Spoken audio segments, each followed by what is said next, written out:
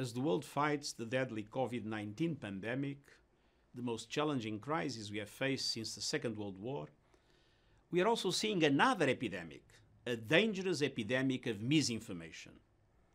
Around the world, people are scared, they want to know what to do and where to turn for advice. This is a time for science and solidarity. Yet the global misinfodemic is spreading. Harmful health advice and snake oil solutions are proliferating. Falsehoods are filling the airwaves. Wild conspiracy theories are infecting the internet. Hatred is going viral, stigmatizing and vilifying people and groups. The world must unite against this disease too. And the vaccine is trust. First, trust in science.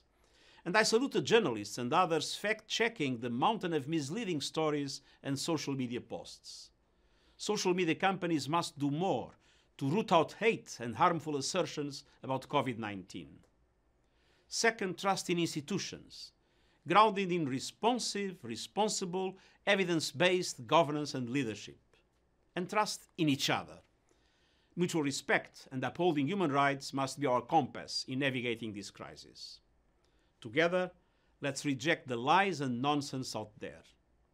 Today, I'm announcing a new United Nations Communications Response Initiative to flood the internet with facts and science while countering the growing scourge of misinformation, a poison that is putting even more lives at risk. With common cause for common sense and facts, we can defeat COVID 19 and build a healthier, more equitable, just, and resilient world. Thank you.